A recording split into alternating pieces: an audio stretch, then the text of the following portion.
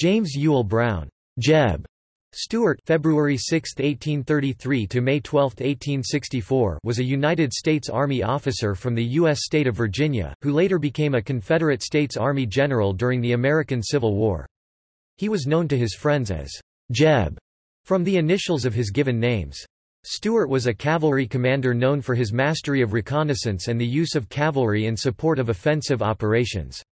While he cultivated a cavalier image red-lined gray cape, yellow sash, hat cocked to the side with an ostrich plume, red flower in his lapel, often sporting cologne, his serious work made him the trusted eyes and ears of Robert E. Lee's army and inspired Southern morale. Stuart graduated from West Point in 1854, and served in Texas and Kansas with the U.S. Army. He was a veteran of the frontier conflicts with Native Americans and the violence of Bleeding Kansas, and he participated in the capture of John Brown at Harper's Ferry. He resigned, when his home state of Virginia seceded, to serve in the Confederate Army, first under Stonewall Jackson in the Shenandoah Valley, but then in increasingly important cavalry commands of the Army of Northern Virginia, playing a role in all of that army's campaigns until his death. He established a reputation as an audacious cavalry commander and on two occasions during the Peninsula Campaign and the Maryland Campaign circumnavigated the Union Army of the Potomac, bringing fame to himself and embarrassment to the North. At the Battle of Chancellorsville, he distinguished himself as a temporary commander of the wounded Stonewall Jackson's Infantry Corps. Arguably Stuart's most famous campaign, Gettysburg, was marred when he was surprised by a Union cavalry attack at the Battle of Brandy Station and by his separation from Lee's army for an extended period, leaving Lee unaware of Union troop movements and contributing to the Confederate defeat at the Battle of Gettysburg. Stuart received significant criticism from the Southern press as well as the postbellum proponents of the Lost Cause movement, but historians have failed to agree on whether Stuart's exploit was entirely the fault of his judgment or simply a result of bad luck and Lee's less than explicit orders. During the 1864 Overland Campaign, Union Maj. Gen. Philip Sheridan's cavalry launched an offensive to defeat Stuart, who was mortally wounded at the Battle of Yellow Tavern. Stuart's widow wore black for the rest of her life in remembrance of her deceased husband.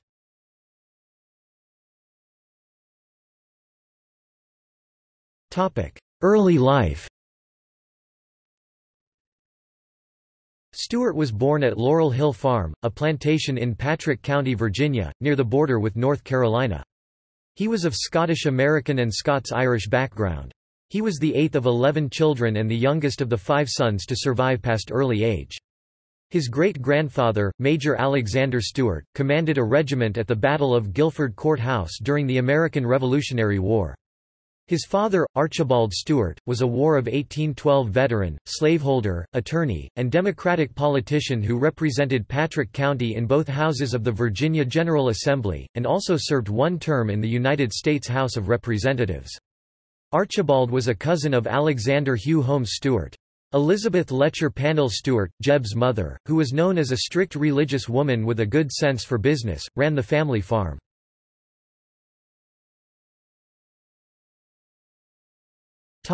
Education Stuart was educated at home by his mother and tutors until the age of 12, when he left Laurel Hill to be educated by various teachers in Wytheville, Virginia, and at the home of his Aunt Anne Archibald's sister and her husband Judge James Ewell Brown Stuart's namesake at Danville. He entered Emory and Henry College when he was 15, and attended from 1848 to 1850. During the summer of 1848, Stuart attempted to enlist in the U.S. Army, but was rejected as underaged. He obtained an appointment in 1850 to the United States Military Academy at West Point, New York, from Representative Thomas Hamlet Averett, the man who had defeated his father in the 1848 election. Stuart was a popular student and was happy at the academy.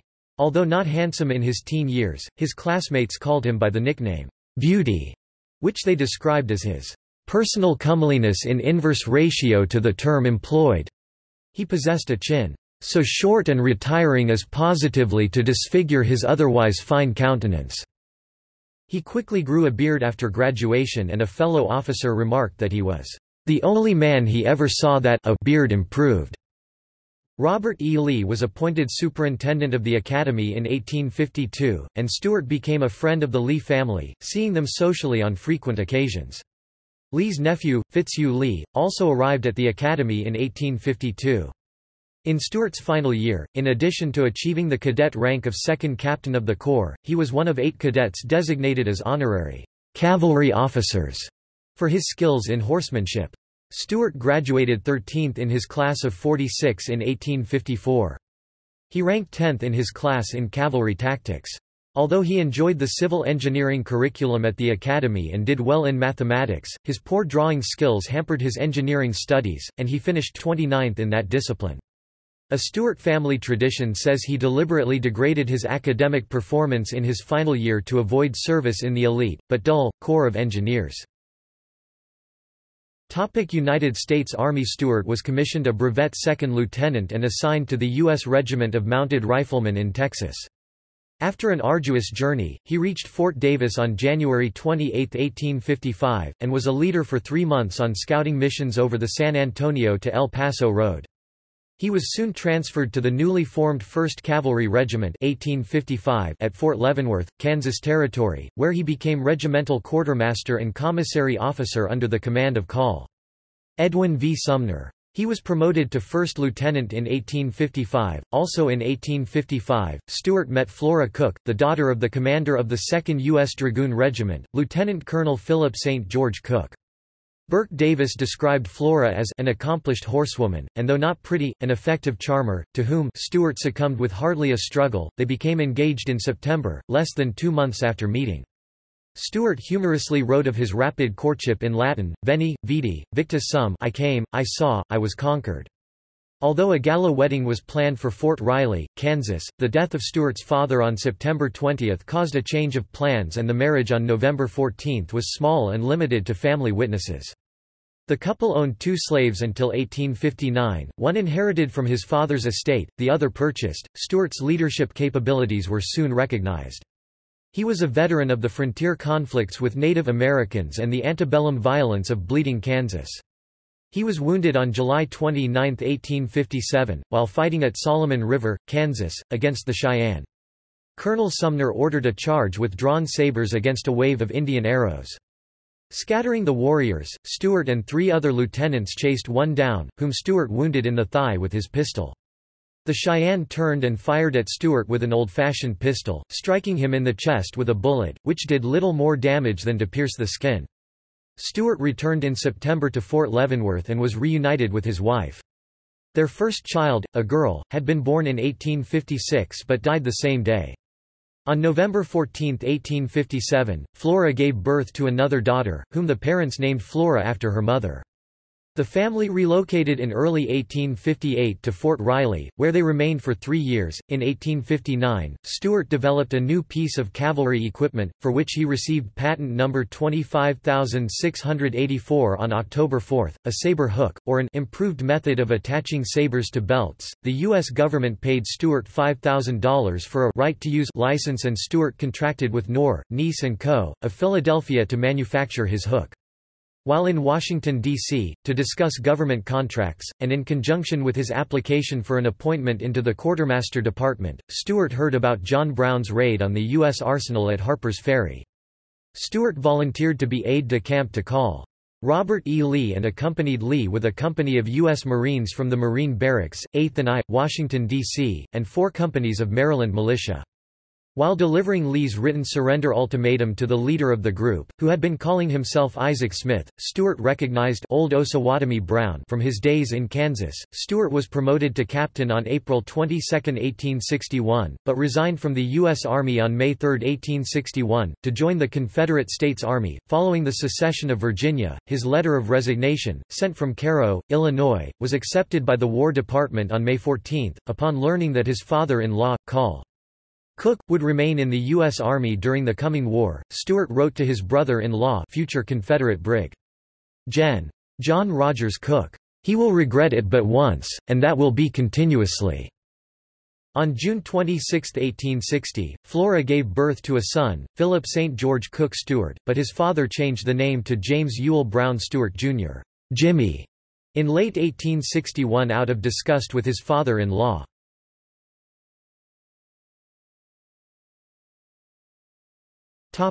Confederate Army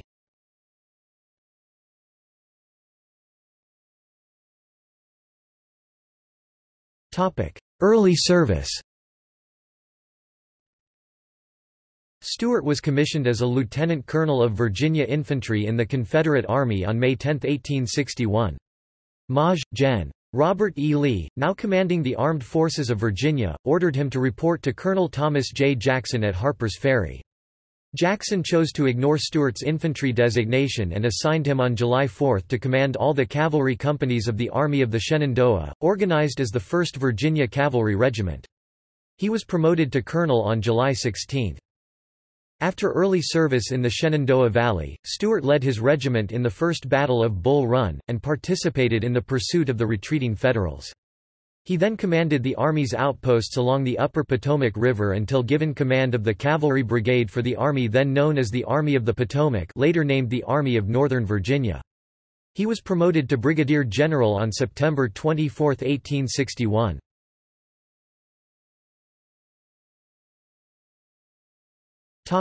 Peninsula In 1862, the Union Army of the Potomac began its Peninsula Campaign against Richmond, Virginia, and Stuart's Cavalry Brigade assisted Gen. Joseph E. Johnston's army as it withdrew up the Virginia Peninsula in the face of superior numbers. Stuart fought at the Battle of Williamsburg, but in general the terrain and weather on the peninsula did not lend themselves to cavalry operations. However, when Gen. Robert E. Lee became commander of the Army of Northern Virginia, he requested that Stuart perform reconnaissance to determine whether the right flank of the Union Army was vulnerable. Stuart set out with 1,200 troopers on the morning of June 12 and, having determined that the flank was indeed vulnerable, took his men on a complete circumnavigation of the Union Army, returning after 150 miles on July 15 with 165 captured Union soldiers, 260 horses and mules, and various quartermaster and ordnance supplies. His men met no serious opposition from the more decentralized Union cavalry, coincidentally commanded by his father-in-law, Col. Cooke. The maneuver was a public relations sensation and Stuart was greeted with flower petals thrown in his path at Richmond. He had become as famous as Stonewall Jackson in the eyes of the Confederacy.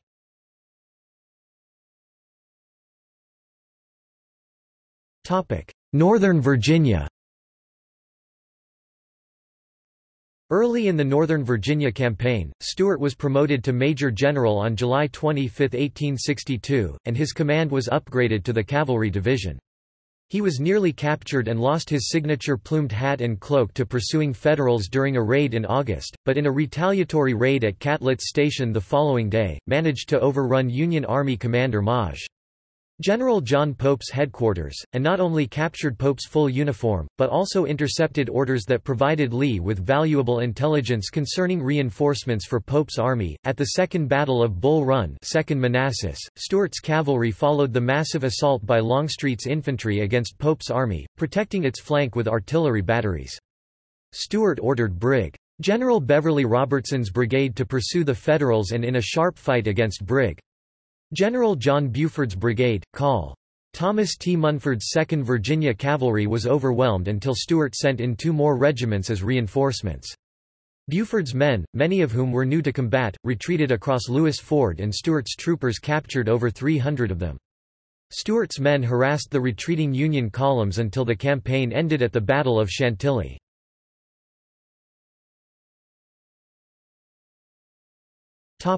Maryland During the Maryland Campaign of September 1862, Stuart's cavalry screened the Army's movement north. He bears some responsibility for Robert E. Lee's lack of knowledge of the position and celerity of the pursuing Army of the Potomac under George B. McClellan.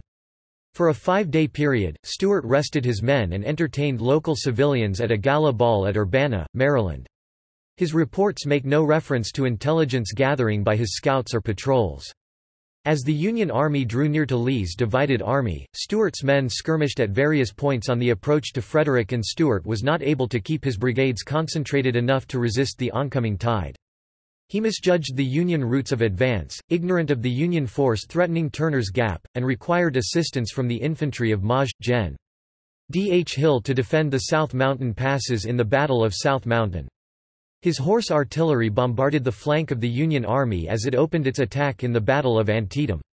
By mid-afternoon, Stonewall Jackson ordered Stuart to command a turning movement with his cavalry against the Union right flank and rear, which if successful would be followed up by an infantry attack from the west woods. Stuart began probing the Union lines with more artillery barrages, which were answered with murderous counterbattery fire and the cavalry movement intended by Jackson was never launched.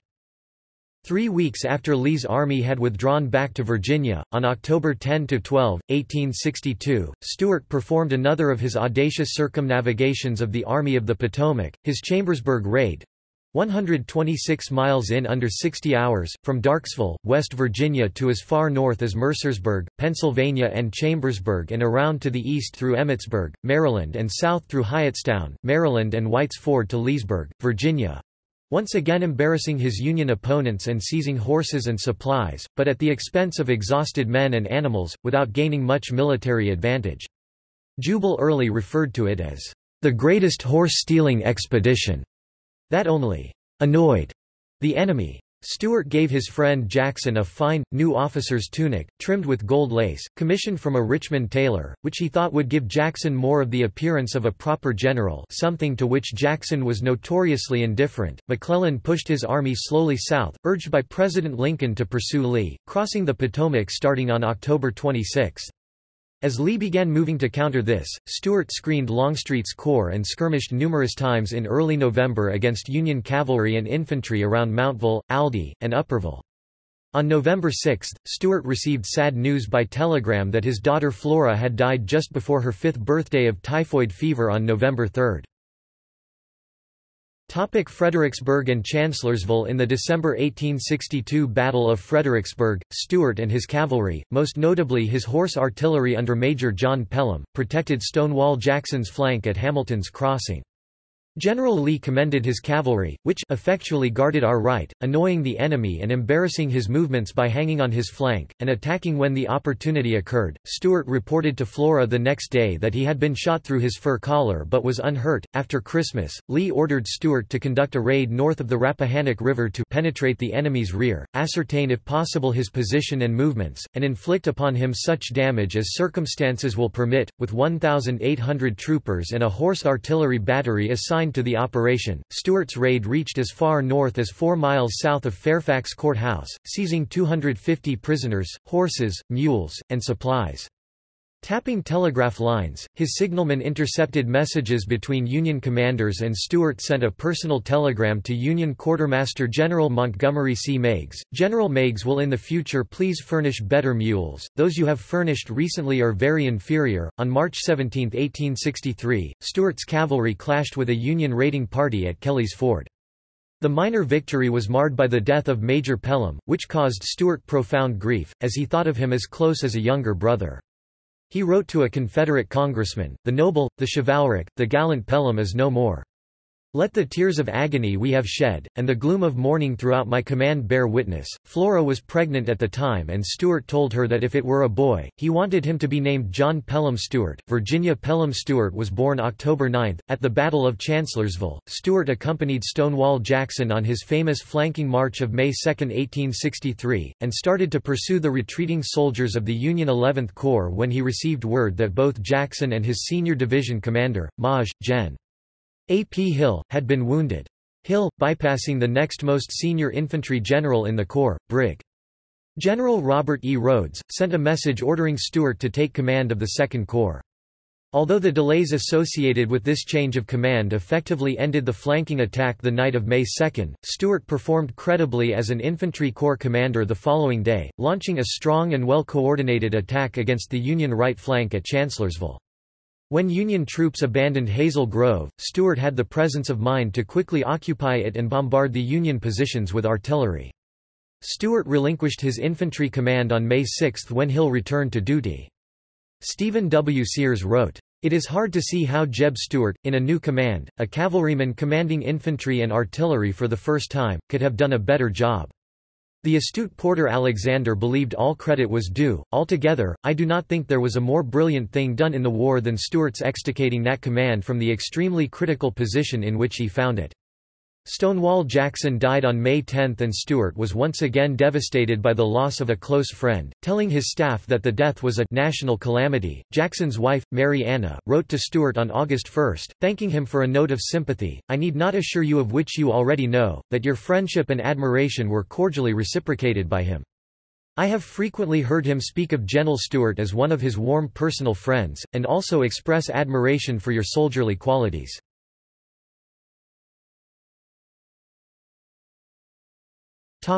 Brandy Station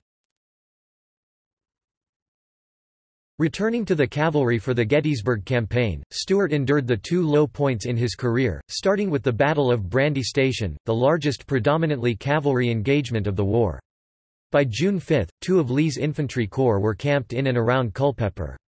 Six miles northeast, holding the line of the Rappahannock River, Stuart bivouacked his cavalry troopers, mostly near Brandy Station, screening the Confederate Army against surprise by the enemy. Stuart requested a full field review of his troops by Gen.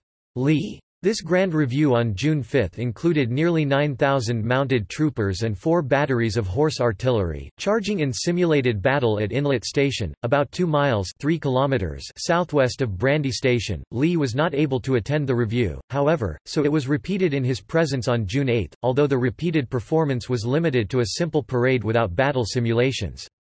Despite the lower level of activity, some of the cavalrymen and the newspaper reporters at the scene complained that all Stuart was doing was feeding his ego and exhausting the horses. Lee ordered Stuart to cross the Rappahannock the next day and raid Union forward positions, screening the Confederate Army from observation or interference as it moved north. Anticipating this imminent offensive action, Stuart ordered his tired troopers back into bivouac around Brandy Station. Army of the Potomac commander Maj. Gen. Joseph Hooker interpreted Stuart's presence around Culpeper to be indicative of preparations for a raid on his army's supply lines. In reaction, he ordered his cavalry commander, Maj. General Alfred Pleasonton, to take a combined arms force of 8,000 cavalrymen and 3,000 infantry on a spoiling raid to disperse and destroy the 9,500 Confederates. Pleasonton's force crossed the Rappahannock in two columns on June 9, 1863, the first crossing at Beverly's Ford Brig. Gen. John Buford's division catching Stuart by surprise, waking him and his staff to the sound of gunfire. The second crossing, at Kelly's Ford, surprised Stuart again, and the Confederates found themselves assaulted from front and rear in a spirited melee of mounted combat. A series of confusing charges and countercharges swept back and forth across Fleetwood Hill, which had been Stuart's headquarters the previous night. After ten hours of fighting, Pleasonton ordered his men to withdraw across the Rappahannock. Although Stuart claimed a victory because the Confederates held the field, Brandy Station is considered a tactical draw, and both sides came up short. Pleasonton was not able to disable Stuart's force at the start of an important campaign and he withdrew before finding the location of Lee's infantry nearby. However, the fact that the Southern cavalry had not detected the movement of two large columns of Union cavalry, and that they fell victim to a surprise attack, was an embarrassment that prompted serious criticism from fellow generals and the Southern press. The fight also revealed the increased competency of the Union cavalry, and foreshadowed the decline of the formerly invincible Southern mounted arm. Stuart's ride in the Gettysburg Campaign Following a series of small cavalry battles in June as Lee's army began marching north through the Shenandoah Valley, Stuart may have had in mind the glory of circumnavigating the enemy army once again, desiring to erase the stain on his reputation of the surprise at Brandy Station. General Lee gave orders to Stuart on June 22 on how he was to participate in the march north, and the exact nature of those orders has been argued by the participants and historians ever since, but the essence was that he was instructed to guard the mountain passes with part of his force while the Army of Northern Virginia was still south of the Potomac and that he was to cross the river with the remainder of the army and screen the right flank of Ewell's Second Corps. Instead of taking a direct route north near the Blue Ridge Mountains, however, Stuart chose to reach Ewell's flank by taking his three best brigades those of Brig. General Wade Hampton, Brig. General Fitzhugh Lee, and Col. John R. Chambliss, the latter replacing the wounded Brig. Gen. W.H.F. Rooney Lee between the Union Army and Washington, moving north through Rockville to Westminster and on into Pennsylvania, hoping to capture supplies along the way and cause havoc near the enemy capital. Stuart and his three brigades departed Salem Depot at 1 a.m. on June 25. Unfortunately for Stuart's plan, the Union Army's movement was underway and his proposed route was blocked by columns of Federal infantry, forcing him to veer farther to the east than either he or General Lee had anticipated. This prevented Stuart from linking up with Ewell as ordered and deprived Lee of the use of his prime cavalry force, the eyes and ears of the army. While advancing into unfamiliar enemy territory, Stuart's command crossed the Potomac River at 3 a.m. on June 28. At Rockville they captured a wagon train of 140 brand new, fully loaded wagons and mule teams. This wagon train would prove to be a logistical hindrance to Stuart's advance, but he interpreted Lee's orders as placing importance on gathering supplies. The proximity of the Confederate raiders provoked some consternation in the national capital and two Union cavalry brigades and an artillery battery were sent to pursue the Confederates. Stuart supposedly said that were it not for his fatigued horses he would have marched down the 7th Street Road and took Abe and cabinet prisoners. In Westminster on June 29, his men clashed briefly with and overwhelmed two companies of Union cavalry, chasing them a long distance on the Baltimore Road, which Stuart claimed caused a great panic in the city of Baltimore. The head of Stuart's column encountered Brig. General Judson Kilpatrick's cavalry as it passed through Hanover and scattered it on June 30. The Battle of Hanover ended after Kilpatrick's men regrouped and drove the Confederates out of town. Stuart's brigades had been better positioned to guard their captured wagon train than to take advantage of the encounter with Kilpatrick. After a 20-mile trek in the dark, his exhausted men reached Dover on the morning of July 1. As the Battle of Gettysburg was commencing without them, Stuart headed next for Carlisle, hoping to find Ewell. He lobbed a few shells into town during the early evening of July 1 and burned the Carlisle barracks before withdrawing to the south towards Gettysburg. He and the bulk of his command reached Lee at Gettysburg the afternoon of July 2. He ordered Wade Hampton to cover the left rear of the Confederate battle lines, and Hampton fought with Brig. General George Armstrong Custer at the Battle of Hunterstown before joining Stuart at Gettysburg.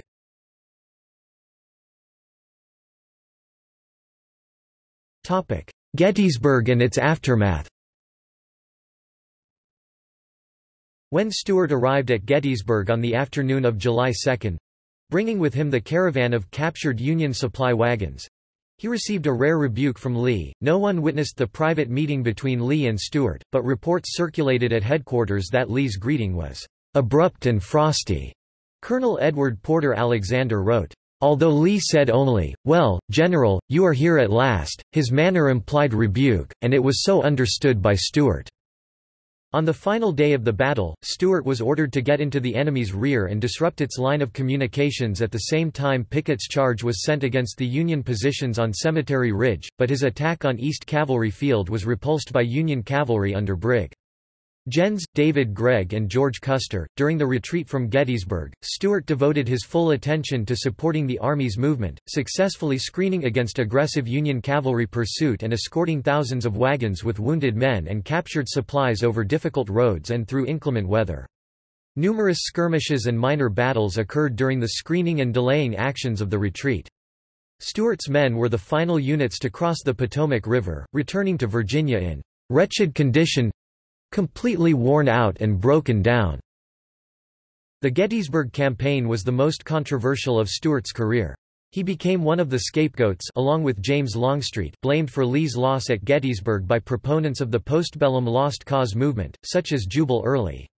This was fueled in part by opinions of less partisan writers, such as Stuart's subordinate, Thomas L. Rosser, who stated after the war that Stuart did on this campaign, undoubtedly, make the fatal blunder which lost us the Battle of Gettysburg."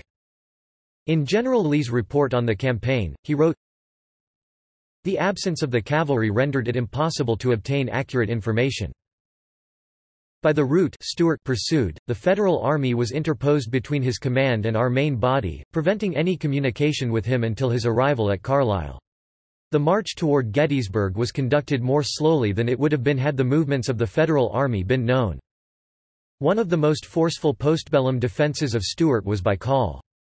John S. Mosby, who had served under him during the campaign and was fiercely loyal to the late general, writing, "...he made me all that I was in the war.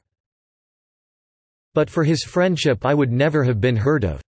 He wrote numerous articles for popular publications and published a book-length treatise in 1908, a work that relied on his skills as a lawyer to refute categorically all of the claims laid against Stuart. Modern scholarship remains divided on Stuart's culpability. Edward G. Longacre argues that Lee deliberately gave Stuart wide discretion in his orders and had no complaints about Stuart's tardy arrival at Gettysburg because he established no date by which the cavalry was required to link up with Ewell. The three and a half brigades of cavalry left with the main army were adequate for Lee to negotiate enemy territory safely and that his choice not to use these brigades effectively cannot be blamed on Stuart. Edwin B. Coddington refers to the tragedy of Stuart in the Gettysburg campaign and judges that when Fitzhugh Lee raised the question of whether Stuart exercised the discretion undoubtedly given to him, judiciously, the answer is no nevertheless, replying to historians who maintain that Stuart's absence permitted Lee to be surprised at Gettysburg. Coddington points out that the Union commander, Maj. Gen. George Meade, was just as surprised, and the initial advantage lay with Lee. Eric J. Wittenberg and J. David Petruzzi have concluded that there was plenty of blame to go around and the fault should be divided between Stuart, the lack of specificity in Lee's orders, and Richard S. Ewell, who might have tried harder to link up with Stuart northeast of Gettysburg. Jeffrey D. Wert acknowledges that Lee, his officers, and fighting by the Army of the Potomac bear the responsibility for the Confederate loss at Gettysburg, but states that, "...Stuart failed Lee and the Army in the reckoning at Gettysburg." Lee trusted him and gave him discretion, but Stuart acted injudiciously. Although Stuart was not reprimanded or disciplined in any official way for his role in the Gettysburg campaign, it is noteworthy that his appointment to Corps Command on September 9, 1863, did not carry with it a promotion to lieutenant general. Edward Bonekemper wrote that since all other Corps commanders in the Army of Northern Virginia carried this rank, Lee's decision to keep Stuart at Major General rank, while at the same time promoting Stuart's subordinates Wade Hampton and Fitzhugh Lee to Major Generals, could be considered an implied rebuke. Jeffrey D. Wert wrote that there is no evidence Lee considered Stuart's performance during the Gettysburg campaign and that it is more likely that Lee thought the responsibilities in command of a cavalry corps did not equal those of an infantry corps. Topic Fall 1863 and the 1864 Overland Campaign Lee reorganized his cavalry on September 9, creating a cavalry corps for Stuart with two divisions of three brigades each. In the Bristoe campaign, Stuart was assigned to lead a broad turning movement in an attempt to get into the enemy's rear, but General Meade skillfully withdrew his army without leaving Stuart any opportunities to take advantage of. On October 13, Stuart blundered into the rear guard of the Union Third Corps near Warrenton, resulting in the First Battle of Auburn. Ewell's corps was sent to rescue him, but Stuart hid his troopers in a wooded ravine until the unsuspecting Third Corps moved on, and the assistance was not necessary. As Meade withdrew towards Manassas Junction, brigades from the Union Second Corps fought a rearguard action against Stuart's cavalry and the infantry of Brig. General Harry Hays's division near Auburn on October 14. Stuart's cavalry boldly bluffed Warren's infantry and escaped disaster. After the Confederate repulse at Bristoe Station and an aborted advance on Centreville, Stuart's cavalry shielded the withdrawal of Lee's army from the vicinity of Manassas Junction. Judson Kilpatrick's Union cavalry pursued Stuart's cavalry along the Warrenton Turnpike, but were lured into an ambush near Chestnut Hill and routed. The Federal troopers were scattered and chased 5 miles 8 kilometers in an affair that came to be known as the Buckland Races. The Southern press began to mute its criticism of Stuart following his successful performance during the Fall Campaign. The Overland Campaign, Lieutenant Gen. Ulysses S. Grant's offensive against Lee in the spring of 1864, began at the Battle of the Wilderness, where Stuart aggressively pushed Thomas L. Rosser's Laurel Brigade into a fight against George Custer's better armed Michigan Brigade, resulting in significant losses. General Lee sent a message to Stuart, it is very important to save your cavalry and not wear it out. You must use your good judgment to make any attack which may offer advantages. As the armies maneuvered toward their next confrontation at Spotsylvania Court House, Stuart's cavalry fought delaying actions against the Union cavalry. His defense at Laurel Hill, also directing the infantry of Brig. General Joseph B. Kershaw, skillfully delayed the advance of the Federal Army for nearly five critical hours.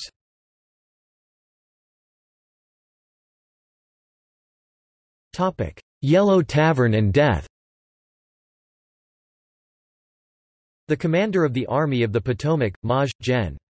George Meade, and his cavalry commander, Maj. Gen.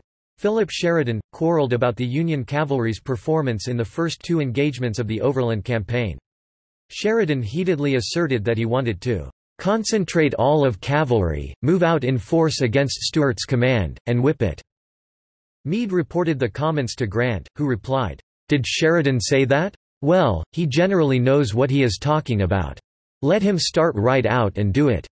Sheridan immediately organized a raid against Confederate supply and railroad lines close to Richmond, which he knew would bring Stuart to battle. Sheridan moved aggressively to the southeast, crossing the North Anna River and seizing Beaver Dam Station on the Virginia Central Railroad, where his men captured a train, liberating 3,000 Union prisoners and destroying more than 1 million rations and medical supplies destined for Lee's army.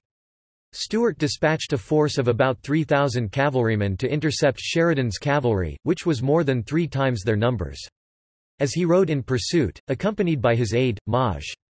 Andrew R. Venable, they were able to stop briefly along the way to be greeted by Stuart's wife, Flora, and his children, Jimmy and Virginia. Venable wrote of Stuart, "...he told me he never expected to live through the war, and that if we were conquered, that he did not want to live." The Battle of Yellow Tavern occurred May 11, at an abandoned inn located 6 miles kilometers north of Richmond. The Confederate troopers tenaciously resisted from the low ridgeline bordering the road to Richmond, fighting for over three hours. After receiving a scouting report from Texas Jack Omohundro, Stuart led a countercharge and pushed the advancing Union troopers back from the hilltop as Stuart, on horseback, shouted encouragement while firing his revolver at the Union troopers. As the 5th Michigan Cavalry streamed in retreat past Stuart, a dismounted Union private, 44-year-old John A. Huff, turned and shot Stuart with his .44 caliber revolver from a distance of 10 to 30 yards. Huff's bullet struck Stuart in the left side. It then sliced through his stomach and exited his back, one inch to the right of his spine. Stuart suffered great pain as an ambulance took him to Richmond to await his wife's arrival at the home of Dr. Charles Brewer, his brother-in-law. As he was being driven from the field in an ambulance wagon, Stuart noticed disorganized ranks of retreating men and called out to them his last words on the battlefield, "'Go back, go back, and do your duty, as I have done mine, and our country will be safe. Go back, go back. I had rather die than be whipped." Stuart ordered his sword and spurs be given to his son. As his aide Major McClellan left his side, Confederate President Jefferson Davis came in, took General Stuart's hand, and asked, General, how do you feel? Stuart answered, Easy, but willing to die, if God and my country think I have fulfilled my destiny and done my duty." His last whispered words were, I am resigned, God's will be done. He died at 7.38 p.m. on May 12, the following day, before Flora Stuart reached his side. He was 31 years old. Stuart was buried in Richmond's Hollywood Cemetery. Upon learning of Stuart's death, General Lee is reported to have said that he could hardly keep from weeping at the mere mention of Stuart's name and that Stuart had never given him a bad piece of information. Flora wore the black of mourning for the remainder of her life, and never remarried. She lived in Saltville, Virginia, for 15 years after the war, where she opened and taught at a school in a log cabin. She worked from 1880 to 1898 as principal of the Virginia Female Institute in Staunton, Virginia, a position for which Robert E. Lee had recommended her before his death ten years earlier.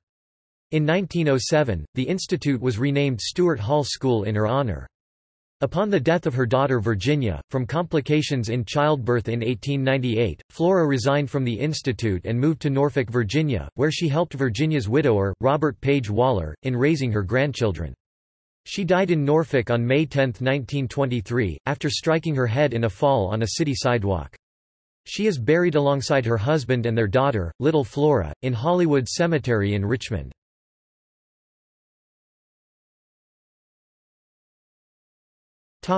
Legacy and memorials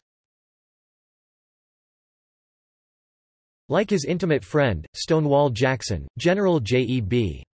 Stuart was a legendary figure and is considered one of the greatest cavalry commanders in American history. His friend from his Federal Army days, Union Maj. General John Sedgwick, said that Stuart was the greatest cavalry officer ever foaled in America. Jackson and Stuart, both of whom were killed in battle, had colorful public images, although the latter seems to have been more deliberately crafted. Jeffrey D. Wert wrote about Stuart, Stuart had been the Confederacy's knight-errant, the bold and dashing cavalier, attired in a resplendent uniform, plumed hat, and cape. Amid a slaughterhouse, he had embodied chivalry, clinging to the pageantry of a long-gone warrior. He crafted the image carefully, and the image befitted him. He saw himself as the Southern people envisaged him. They needed a knight, he needed to be that knight. A statue of Stuart by sculptor Frederick Moynihan was dedicated on Richmond's Monument Avenue at Stuart Circle in 1907. Like General Stonewall Jackson, his equestrian statue faces north, indicating that he died in the war. In 1884 the town of Taylorsville, Virginia, was renamed Stuart. The British Army named two models of American-made World War II tanks, the M3 and M5, the Stuart tank in General Stuart's honor. A high school on Munson's Hill in Falls Church, Virginia, opened in 1959, and a middle school in Jacksonville, Florida are named for him. In early 2017, Fairfax County Public Schools established an ad hoc working committee to assist the Fairfax County School Board in determining whether to rename the Stuart High School in Virginia, in response to suggestions from students and local community members that FCPS should not continue to honor a Confederate general who fought in support of a cause dedicated to maintaining the institution of slavery in Virginia and other states. The creation of the committee followed the circulation of a petition started by actress Julianne Moore and Bruce Cohen in 2016, which garnered over 35,000 signatures in support of changing the school's name to one honoring the late United States Supreme Court Justice Thurgood Marshall. In July 27, the Fairfax County School Board approved a measure to change the school name no later than the start of the 2019 school year. The measure asks that, "...Stuart High School," be considered as a possibility for the new name. On October 27, 2017, the Fairfax County School Board voted to change the name of J.E.B. Stuart High School to Justice High School. Board member Sandy Evans from the Mason District said that the name will honor Supreme Court Justice Thurgood Marshall, Barbara Rose Johns, Luis Gonzaga Mendez Jr. and all those who have fought for justice and equality. Johns was a civil rights leader. Mendez was a U.S. Army officer who joined the Virginia Education Department and lived for many years in Falls Church. On June 18, 2018, the School Board for Richmond Public Schools in Richmond, Virginia voted 6 to 1 to rename J.E.B. Stuart Elementary School to Barack Obama Elementary School. On June 12, 2018, students of the school were given the opportunity to narrow down the choices for renaming the school from 7 to 3. Northside Elementary received 190 votes, Barack Obama Elementary earned 166 votes, and Wishtree Elementary received 127 votes. From there, the administration of Richmond Public Schools recommended to the school board that it rename the school after Barack Obama. Superintendent Jason Kamras said, it's incredibly powerful that in the capital of the Confederacy, where we had a school named for an individual who fought to maintain slavery, that now we're renaming that school after the first black president. A lot of our kids, and our kids at JEB. Stuart, see themselves in Barack Obama. The student population of the newly named Barack Obama Elementary School is made up of more than 90% African Americans. In December 2006, a personal Confederate battle flag, sewn by Flora Stuart, was sold in a heritage auction for a world record price for any Confederate flag, for $956,000 including buyer's premium. The 34-inch by 34-inch flag was hand-sewn for Stuart by Flora in 1862 and Stuart carried it into some of his most famous battles. Stuart's birthplace, Laurel Hill, located in Patrick County, Virginia, was purchased by the J. E. B. Stuart Birthplace Preservation Trust, Inc., in 1992 to preserve and interpret it. U.S. Route 58, in Virginia, is named the J. E. B. Stuart Highway.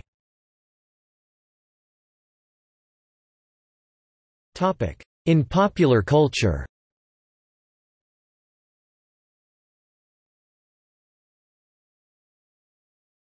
Topic: Comics. In the long-running comic book G.I. Combat, featuring The Haunted Tank, published by DC Comics from the 1960s through the late 1980s, the ghost of General Stuart guided a tank crew the tank being, at first, a Stuart, later a Sherman commanded by his namesake, Lieutenant Jeb Stuart.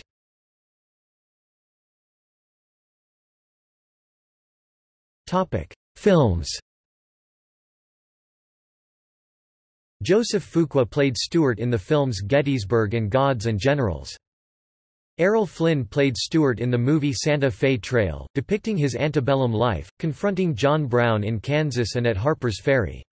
The movie has become infamous for its many historical inaccuracies, one of which was that Stuart, George Armstrong Custer portrayed by Ronald Reagan in the film, and Philip Sheridan were firm friends and all attended West Point together in 1854.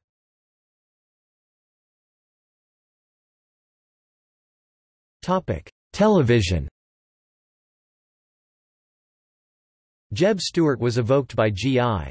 Joe character, Cross Country, in the third episode of the miniseries, Arise Serpentor, Arise.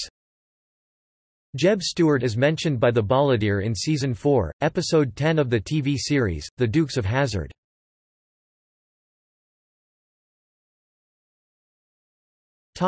Literature Stuart, along with his warhorse Skylark, is featured prominently in the novel Traveller by Richard Adams. In the alternate history novel Grey Victory 1988, author Robert Skimin depicts Stuart surviving his wound from the Battle of Yellow Tavern. After the war, in which the Confederacy emerges victorious, he faces a court of inquiry over his actions at the Battle of Gettysburg. In Harry Turtledove's 1992 alternate history novel The Guns of the South, Stuart features as one of Lee's generals as the AWB bring back AK-47 rifles from 2014 to 1864. Men under Stuart's command are the first Confederate troops to use the AK-47 in battle. Stuart is so impressed with the new rifle that he sells his personal LeMat revolver and replaces it with an AK-47. In Harry Turtledove's alternate history novel How Few Remain, Stuart is the commanding Confederate general in charge of the occupation and defense of the recently purchased Mexican provinces of Sonora and Chihuahua in 1881. This is the first volume of the Southern Victory series, where the US and CSA fight each other repeatedly in the 19th and 20th centuries. Stuart's son and grandson also appear in these novels. Several short stories in Barry Hannah's collection Airships feature Stuart as a character. Stuart's route to Gettysburg is the impetus for the sci-fi-ish book An End to Bugling by Edmund G. Love. Stuart is also a character in L. M. Elliott's Annie, Between the States. J. E. B. Stuart is a character in the historical adventure novel Flashman and the Angel of the Lord by George MacDonald Fraser featuring Stuart's early career role in the U.S. Army at John Brown's raid on Harper's Ferry.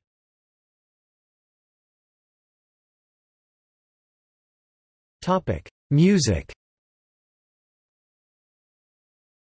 When I Was on Horseback, a song on the folk group Arborea's album Fortress of the Sunday 2013, features lyrics that refer to Stuart's death near Richmond, Virginia.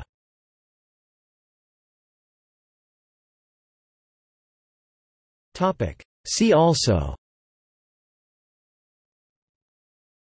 List of American Civil War generals Confederate Notes